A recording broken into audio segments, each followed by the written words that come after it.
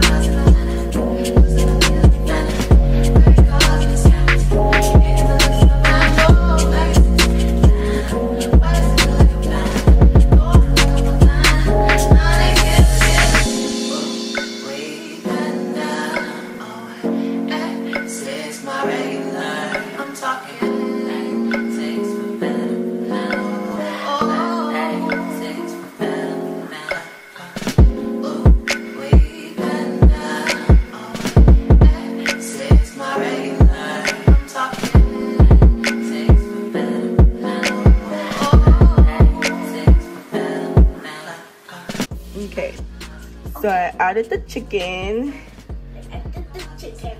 And there's Gian annoying me. and chicken stock, chicken broth. It tastes. So, yeah. It tastes disgusting. Play your game, what you were doing. Okay. Now I gotta add this smoked sausage. Okay, so we need three cups of heavy whipping cream.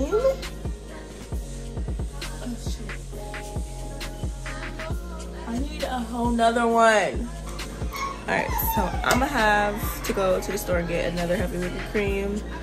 But while this is, but that's all I need to add anyway. I am probably just gonna add just a little more season just on top, you know, just, you know, just to make sure we see it all. Okay, because we like seasoning.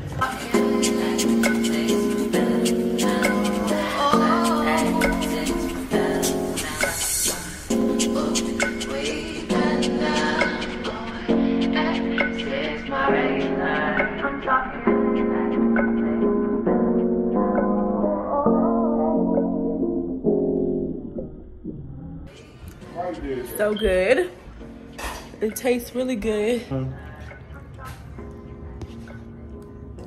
Is that a TV show or what? Hey y'all, so it is later in the day. Me and the kids, um, we are getting some Tiff Treats cookies. It was a good night. The pasta came out really good. I feel like I just have to play around with it. Like I said, it was my first time like using like a slow cooker. I don't ever like use a slow cooker. I never have in my life. Tomorrow Keon is supposed to start football and I also have surgery for my teeth tomorrow so that's what's happening tomorrow. I think slow cookers are like so good if like you're a busy mom that has like a million things to do so that could just be cooking while you're doing what you got to do and getting things finished and you have like those hours to get those done. I love that the idea of slow cooker so I love it. 10 out of 10 um so yeah i'll see you guys in my next video